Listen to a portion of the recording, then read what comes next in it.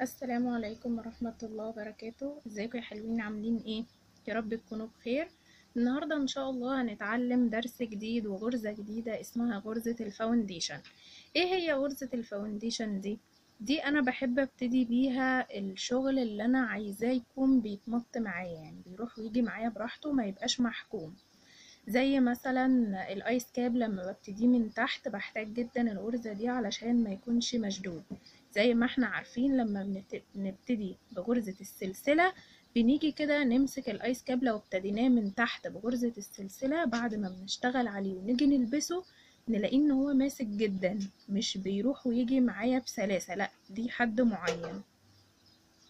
إيه كمان لما باجي مثلا أعمل بلوفر وابتديه من تحت أو أعمل الأسورة بتاعة الكم وابتديها من تحت بلاقي الغرزة معايا ممسوكة محكومة لما ببتديها بغرزة السلسلة. عشان كده أنا بحب أبتديها بغرزة الفاونديشن دي بتعتبر سطر عادي زي أي سطر في الشغل. وهي عبارة عن إن أنا بعمل خطوتين في خطوة واحدة. يعني بدل ما بعمل سطر سلسلة وعليها سطر من العواميد لأ هو أنا بعمل السلسلة والعواميد في سطر واحد بس. دلوقتي هنشوف مع بعض إزاي هنعمل غرزة الفاونديشن.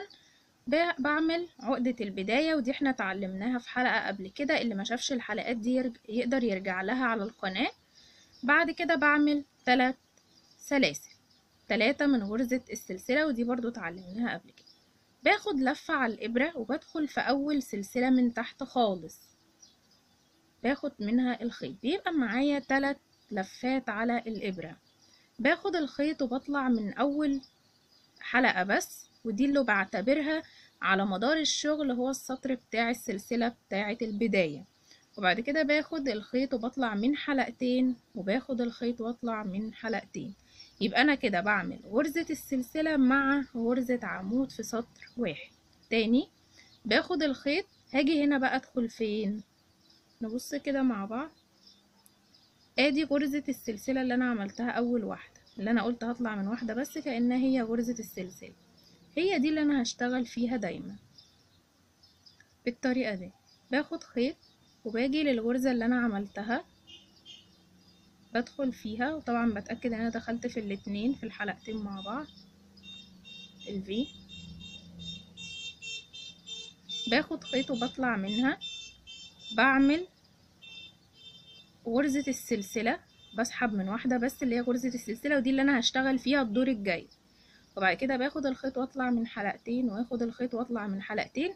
الحلقتين والحلقتين دول اللي هم تكوين العمود وادي الغرزة اللي أنا اشتغلتها في الأول. باخد خيط وبدخل فيها. آخد خيط واطلع منها. هاخد خيط واطلع من حلقة واحدة. دي اللي أنا هشتغل فيها السطر اللي جاي.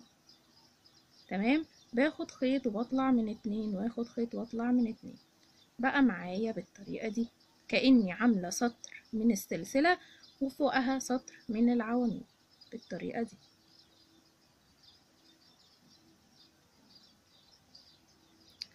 نعمل تاني. باخد لفة على الإبرة باجي عند آخر أهو. بصوا كأنه تكوين سطر سلاسل عادي جدا. بشوف آخر واحدة بدخل فيها. باخد الخيط آخد الخيط وأسحبه من حلقة واحدة. آخد الخيط واسحب من حلقتين آخد خيط واسحب من حلقتين. كمان مرة باخد خيط على الإبرة وادخل في السلسلة الأخيرة آخد الخيط واطلع منها واخد الخيط واسحب من واحدة بس اللي هي السلسلة واخد خيط واسحب من اتنين وخيط واسحب من اتنين.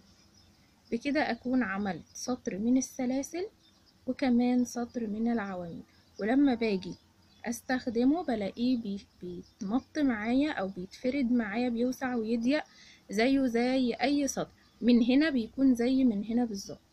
إنما بقى أنا أقدر أستخدم السطر السلسلة بتاع البداية ده في حاجة زي الكوفية مثلا اللي أنا مش هحتاج إن هي تتمط معايا. لو بعمل دايرة مثلا الآيس كاب من فوق فبعمل دايرة فبالتالي بتكون مقفولة أنا مش محتاجة إن هي تتمط بعمل لكلوك مثلا فبعمله بغرزة السلسلة لأن أنا مش محتاجة إن الحاجات دي تتمط معايا. لكن أي حاجة عايزاها تكون بتتمط وما يكونش في فرق بين بداية السطر من هنا وبدايته من هنا بعملها بغرزة الفاونديشن دي. هنعمل كمان كام واحدة مع بعض علشان تكون واضحة أكتر. السطر ده هو اللي أنا بعتمد عليه كأنه هو السلاسل فبشوف آخر واحدة فيه ماليش علاقة بالجزء ده اللي هو جزء العمود. باخد لفة على الإبرة وبدخل في الحلقتين بتوع آخر سلسلة وبطلع منها بالطريقة دي. باخد خيط واطلع من أول حلقة اللي أنا بعتبرها السلسلة. آخد خيط واطلع من اتنين وآخد خيط واطلع من اتنين كمان مرة. باخد الخيط وادخل في الحلقتين بتوع السلسلة واطلع منها. بقى معايا تلات لفات. آخد خيط وأطلع من واحدة وآخد خيط وأطلع من اتنين وآخد خيط وأطلع من اتنين. هي سهلة بس في البداية بس هتحسي إن انتي مش عارفة غرزة السلسلة فين. أول لما هتمشي شوية هتبقى واضحة بالنسبة لك جدا بالطريقة دي. يعني هي باينة هنا دي غرزة ودي غرزة ودي آخر واحدة. بعد كده بيكون تكوين غرزة العمود. فالجزئية دي هي اللي بنعتمد عليها في كل غرزة بنشتغلها بعد كده بنشتغل في آخر واحدة وهي بصراحة غرزة رائعة وأنا بستخدمها كتير جدا فحاولي إن أنتي تدربي إيدك عليها علشان هنستخدمها بعد كده في كذا حاجة. هنشوف استخداماتها في إيه بقى في الحاجات اللي جاية بأمر الله. شكرا لكم أشوفكم في درس جديد بأمر الله. والسلام عليكم ورحمة الله وبركاته.